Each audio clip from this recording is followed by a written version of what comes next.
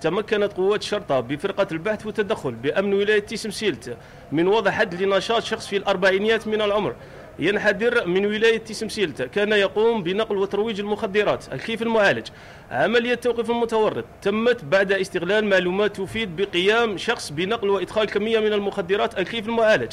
إلى ولاية تيسمسيلت باستعمال سيارة حيث تم إعداد خطة أمنية محكمة مكنت من توقيف المتورط وضبط كمية من المخدرات. قدر وزنها الإجمالي ب 2 كيلوغرام 350 غرام قام المتورط بجلبها من إحدى ولايات الغرب الجزائري.